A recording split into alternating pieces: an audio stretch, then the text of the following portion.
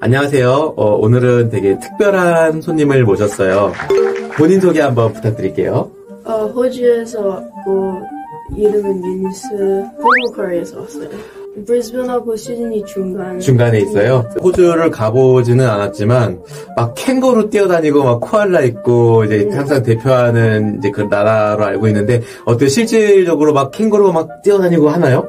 어 골프 코스 갈 때는 캥거루 엄청 많이 볼 수 있고 춥지도 않고 윈터에도 어, 바닷가 가서 놀 수도 있고 그 막 그렇게 춥지도 그렇게 덥지도 그럼 날씨가 되게 좋다는 뜻이겠네요. 네 지금 호주는 날씨가 어떨까요? 지금은 더워요. 더워요? 네. 어, 그래서 우리가 항상 온라인으로 이렇게 만났었죠, 그쵸? 네. 몇년 동안 만났죠? 한 3년 만났어요, 그쵸?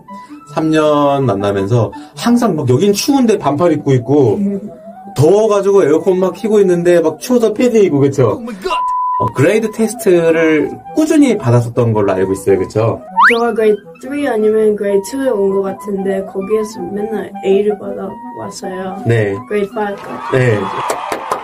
여러분들도 온라인 레슨을 통해서 되게 충분히 많이 어, 성장하고 배울 수 있다는 점을 이제 알려드리고 싶었습니다. 내가 되게 배우고 싶은데 거리상의 문제라든지 예를 들어서 이제 호주하고 한국은 가깝지가 않잖아요, 그렇죠?